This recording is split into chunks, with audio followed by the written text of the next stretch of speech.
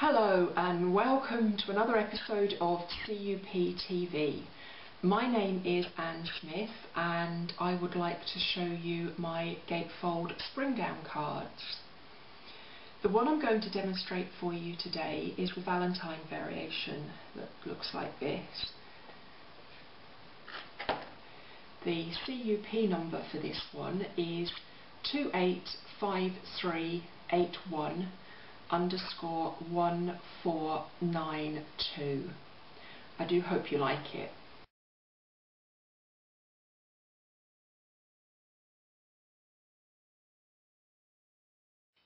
The first file gives you the main body of the card, the two side panels and also the springs. The second file gives you the decorative panels for the outside and the inside of the card and also the back panel as well. The third file gives you the three panels for the inside of the card and also the embellishments. I've already cut an assortment and layered them up.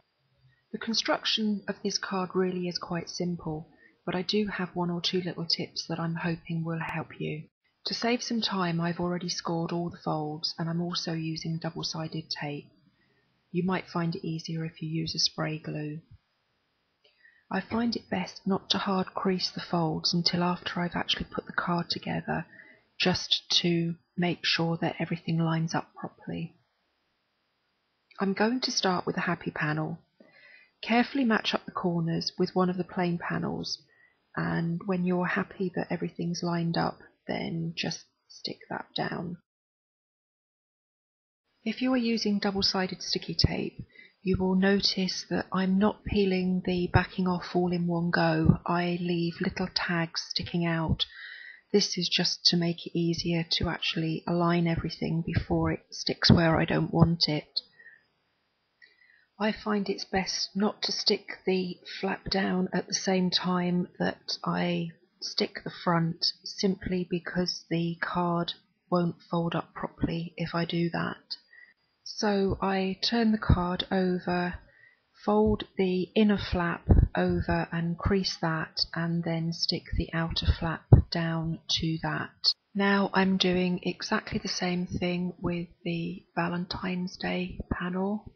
I'm carefully aligning all the corners, working from the outside edge in, and then when I'm happy with that, then I just peel off the tape and stick that down.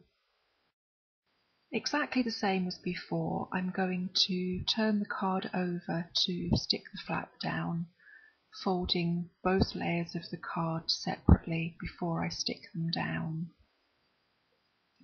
The next stage is to start putting the card together.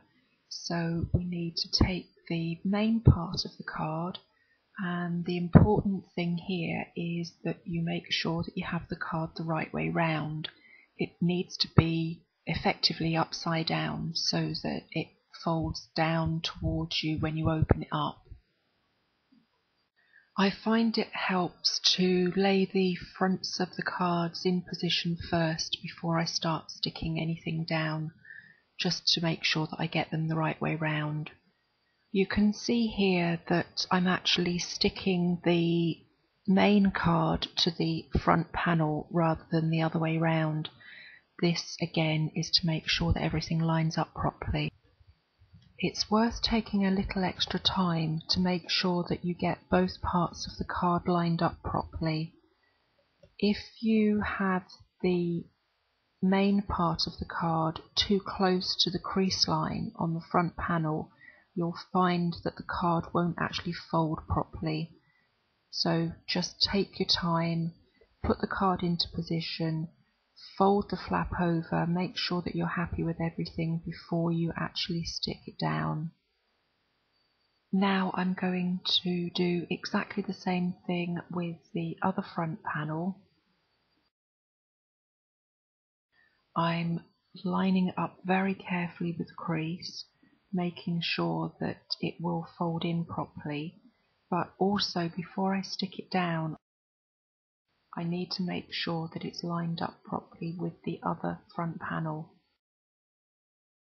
You can see that I'm just making sure that everything is square before I finally take that tape off. Now I've almost finished the outside of the card. I've just got the back panel to put in place just to make it look as neat and tidy as possible. I found with the sticky tape that by peeling it back from opposite sides of the same corner, just on two corners, it gave me a lot more control over the card to be able to move it around into position until I got everything lined up properly. So now it's time to start working on the inside of the card. Once again, make sure that you've got your panels the right way round before you start sticking anything down. And take your time lining them up as well. If you wanted, you could actually stick these panels on before you put the card together it's just that I find it easier to do it this way round. I would normally use some repositionable spray glue on these panels as well, but for the sake of the video, I'm just trying to save some time. Now, this is where I hope that I remember to check that I have the card the right way round. The heart border panels are quite straightforward to stick into position. Take your time to make sure that you get them straight. I also find it helps to turn the card around so that I'm looking straight down on it rather than leaning over when I do the second panel. To make it easier to put the springs into position, I like to put two small slits into the I love you panel. This is much easier to do if to begin with I only stick down the top edge of the panel. Be careful how you position the springs. If they are too close to the edge of the card, there won't be enough room for the hearts, and the card won't fold up properly when you've finished it. Once I'm happy with the position of the springs, I make a small mark on the panel and then very carefully make a small slit. Once I've done that for both the springs, then it's just a case of threading them both through. You could, if you prefer, just stick the end down onto the panel and cover it perhaps with a small heart. The choice is yours, it's whatever you find easiest.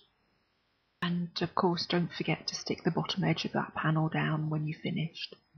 Please don't attempt to stick the centre part of the spring into position with the card open. It really needs to fold flat when the card is closed, so simply put some tape or glue in the centre of the spring and fold the card up. This way the spring sits in a perfect position. I personally think it looks a lot tidier to have a backing on each of the hearts because when you open the card you can see the back and front of several of them. I find it much easier to use a small dab of silicone glue to attach the hearts to the springs so that I can make any adjustments that I need to. I've chosen to go completely over the top decorating mine but you can use as many or as few as you wish.